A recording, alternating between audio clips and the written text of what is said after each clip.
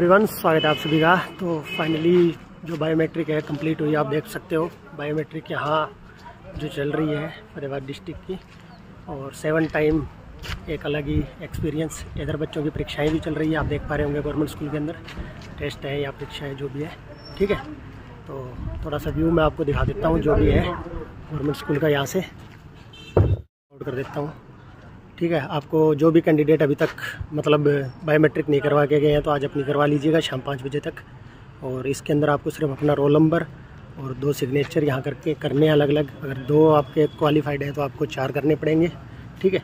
और इधर ये व्यू जो है, ये एग्ज़ाम व्यू है। स्टूडेंट्स अपने पेपर दे रहे हैं, ठीक है? And thank you so much have a nice day चलते हैं। धन्यवाद।